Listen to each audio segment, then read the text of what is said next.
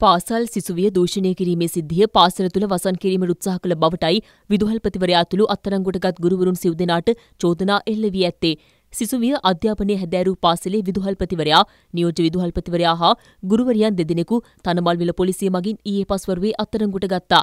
ඔවුන්ගෙන් ප්‍රකාශ සටහන් කර ගැනීමෙන් අනතුරුව අධිකරණයට ඉදිරිපත් කිරීමටයි පියවරගෙන ඇත්තේ. දැරිය දූෂණය කිරීමේ සිද්ධිය සම්බන්ධයෙන් මීට පෙර අත්අඩංගුවට ගත් පාසල් සිසුන් ඇතුළු 18 දෙනා මේ වන විට රක්ෂිත බන්ධනාගාරගත කර තිබෙනවා.